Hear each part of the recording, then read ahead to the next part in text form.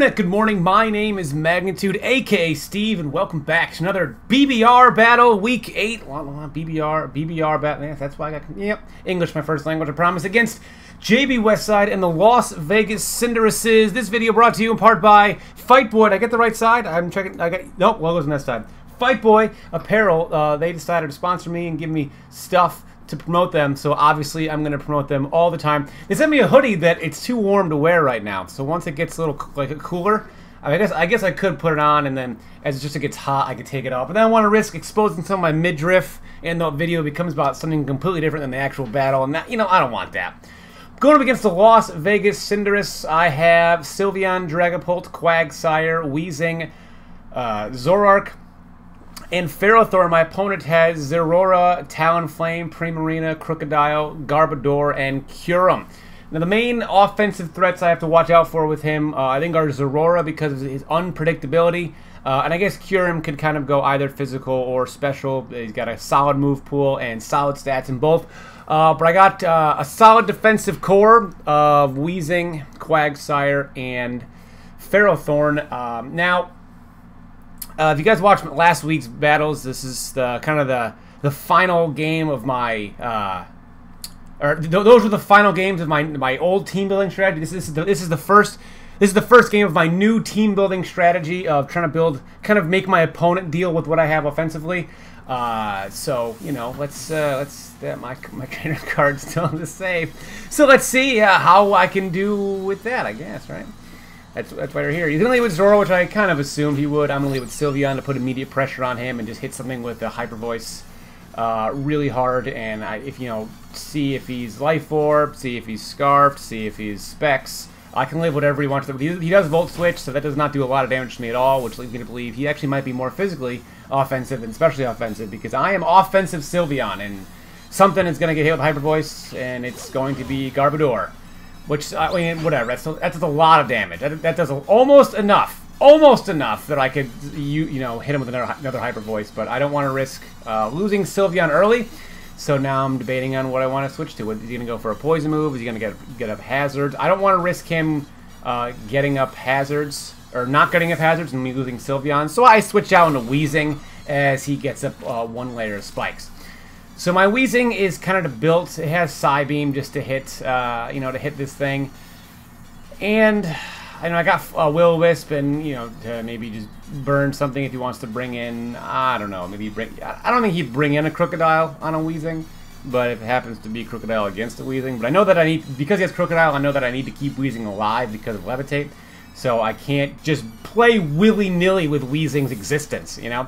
So he goes back into Zeraora, to I guess to see what move I'm going to go with, uh, and take a Psybeam. Because he went in uh, on his, he went, he switched Zeraora into a Weezing. Um, that made me think that maybe he's actually not physical because the will chance is great.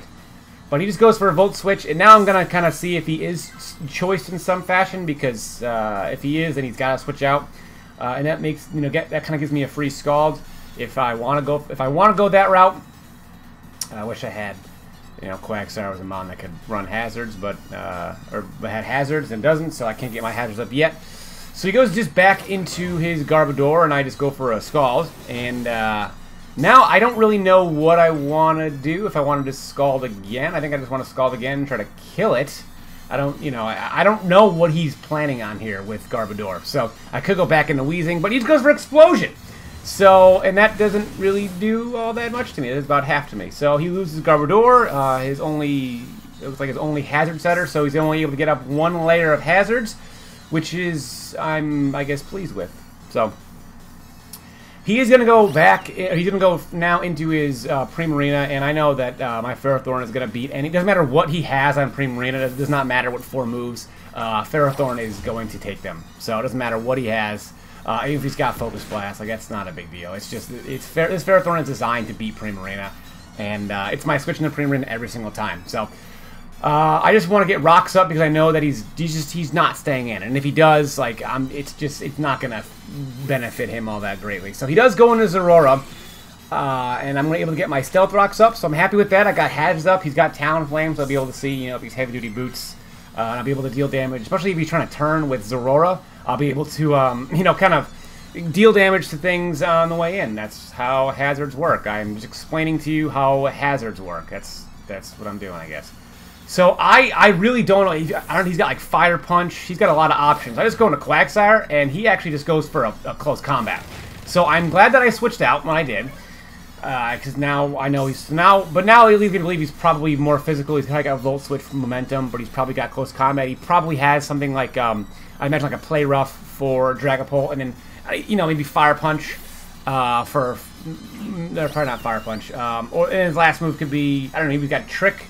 I don't. I don't. I'm trying to remember my thought process in the moment, but I, I figured because he had close combat, he's probably more, you know, just selling out to be a physical attacker. So he's actually going to predict my switch into Ferrothorn, and that's disappointing because uh, he goes into Talonflame. So he's able to momentum on that play. Uh, the good news is I have max defense Weezing that does not give a shit about Talonflame. Like, doesn't give a shit about Talonflame. No, Weezing. There you go. Doesn't give a shit. We yeah, do it. Doesn't you don't give a shit about Talonflame. Do it. Okay, so I had to coax my past self a little bit into making that move, but he doesn't give a shit about Talonflame. Uh, he's gonna go for Swords Dance, and I don't know if I've mentioned this. I, I don't know, but so my Weezing doesn't give a shit about Talonflame. Plus two, no fear at all. Weezing's gonna stand in there and just look at that face, just the face of apathy, staring in the face of Talonflame. Talonflame was once great with Gale Wings, but now they nerfed that ability. Talonflame sucks now, and Weezing's gonna prove it. Weezing's been around for almost two decades. Talonflame, a newcomer, plus four Talonflame. Guess what, Talonflame? Weezing still does not give a shit about you. Fuck you, Talonflame. Get the fuck out of here. Go back to X and Y where you fucking belong, okay? Get out of Sword and Shield. You are neither as powerful as a sword or as strong as a shield. You deserve nothing in your life, and you will get nothing in your life. And Weezing, have I mentioned, he does not give a shit about you, Talonflame. He does not care at all about your existence. He cares not for your hopes, your dreams. He does not care about your plans or your schemes. He does not care that you want to attack him with all of your might because Weezing does not give a shit about Talonflame. Now get the fuck out of this battle, Talonflame. You don't belong here. So we're up 6-4. And uh, Weezing, while almost dead, I still need to keep it alive because uh, Krookodile. I don't want Krookodile to be able to just spam Earthquakes. That's not what I want. So, uh, I and I have Ferrothorn that's at mostly all of its HP. Uh, so I am pleased with with how you know what Ferrothorn is going to be able to accomplish. Did I not? I think I uh, yeah. So this actually should be five four. It's not six because because is it? No, no. You know what? I I got too caught up in that rant. I forgot what I was doing. So I go into Ferrothorn, and now I'm thinking, do I want to get, I want to get later spikes up? Is he going to stay in? Is he going to go into Zeraora? If I get later spikes up, I can, you know, that might be helpful in the long run, but I definitely want to get damage on that Zeraora because it's so unpredictable on what it can do. So I hit it with another Gyro Ball, and uh, so now at this point, it's getting to the point now where I, I, I need to keep Ferrothorn around, so I have to carefully choose what I switch into this Zeraora. Uh, and it looks like Quagsire is going to be the one that's going to face the wrath of Zeraora. Uh, and I do and I do end up seeing Play Rough, so I know he's got Play Rough, Close Combat, Volt Switch, and his last move, it, yeah, could be a lot of things. Could be a lot of things. So I'm now I know he's probably locked into Play Rough, um, but I go into Zorora, or Zoroark, uh, trying to no, do it. Just do it. No, is it Ferrothorn? Is it actually okay? I go into actual Ferrothorn. I think later in the game I do the same. I do. So I go into Ferrothorn, and uh, I am getting. You know, I wish I had Leech Seed on this squad. I really do. So he's locked into, you know, play rough, and I know he's got to switch. It's got to be either he's got to take damage with Krookodile, he's got to take damage on Primarina, or he's got to take damage on Kyurem. And I don't think he wants to take damage really on any of those things. So I thought about going for a spikes on what he might like on a, on a possible switch. Uh, but I thought there's a chance that he might just not want any of the other mons to take damage because of the fact also that I have, you know, we and that does, that does a lot of damage. Like that is a lot. And that, now we're in a range where, you know, if he gets too out of control with Moxie, um, I can just, you know, bring in Iron Barb, Ferrothorn, and that'll be that. But I don't know, you know, I, I don't want him to just superpower me and just end my existence. Uh, so I, I, know I need to keep Ferrothorn around, and he's just going to go for a knockoff, which is going to almost do enough to uh, frighten me, but it doesn't. Did, it, I'm unfrightened. He's going to switch out. He, he knows that he's going to need that thing at the end. You know, it's probably Scarf too, so... Uh, I think now he's got two Scarfers. That's, that's what I imagine. So I go, uh, you know, Zoro goes down, and I got Sylveon here. No longer Specs, was unfortunate, but you know, I can't hit that as hard as I wanted to anymore. But uh, he's now going to go into the first time all game. It's going to be Kyurem, and I, uh, I'm an offensive, I'm an offensive Sylveon, and I, but I also know that I, um, I also know that uh, I'm, I'm getting to the point now where at the end of the battle, I kind of just want to have Dragapult just kind of clean up. So I want to try to get to the point where Dragapult can clean up, and uh, I also know that I Kyurem was so unpredictable that I didn't want to switch in someone like Ferrothorn because I just I didn't know. You know, I know that I need Ferrothorn for Primarina, like 100%. At least to switch in probably one more time on it. So, you know, I... But now... So here I go into Zork and um, I wasn't anticipating that he would know that I am Zork. Uh, I was hoping he wouldn't know, but if I went for like a Sludge Bomb, that would have been like the sickest play ever. Um, but I thought that you know he might not he might not want to switch just because you know uh, maybe he thinks he could take a hit maybe some kind of assault vest set. But I also knew that even if he went into Primarina, I still have Ferrothorn. And Ferrothorn is going to be able to take anything that it wants, but instead he goes into this is Krookodile Now, I need to try to decide what he's going to do. If, I know he can't go for Earthquake, so I'm just going to go into Weezing here, as he probably has to knock off. That's going to allow me to go into Zoroark. And then I'm going to make a decision with Zoroark.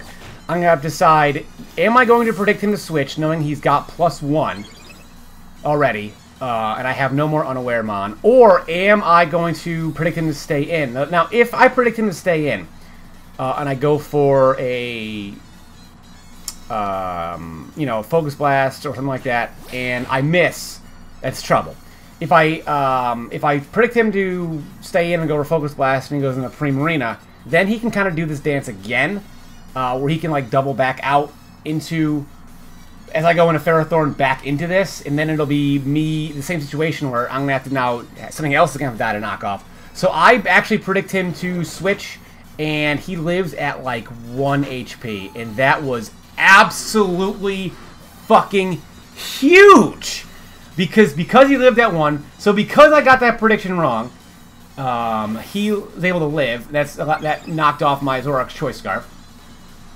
Because uh, my Zoroark's no longer has a Choice Scarf, I have my only option to killing this thing.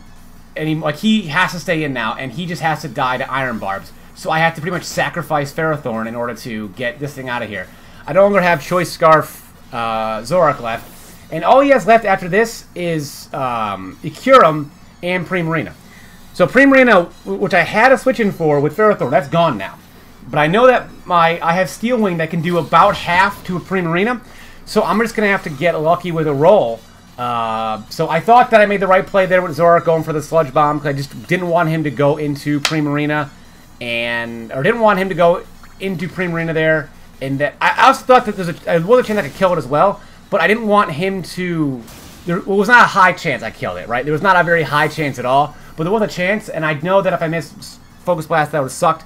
Uh, I also know that if I... If he went into Primarina and I didn't Focus Blast, then he could... He probably... Then I would have had to decide, okay, is he going to double from Primarina back into Krookodile? And if I go into, you know, should I stay in and just go again? But Steel Wing just... Fuck! God fucking damn it! Fucking... Fucking 1-O's! What the Fuck! Come on! I'm 2 and 6 minus 6! That is unreal! That is like. Yeah. oh my god, this is ridiculous. This is ridiculous. Ridiculous! That one decision with the fucking Zoroark, and the thing is too, he probably only lived at like 1 HP! I think I played that game so well! So well! And it came down to one with the one move at the end, and even though I chose wrong, fucking surprise, Steve chooses wrong. Steve mispredicts. Even though that happened, I still had a chance to kill it, and I could not even get the kill. Fuck! Fuck!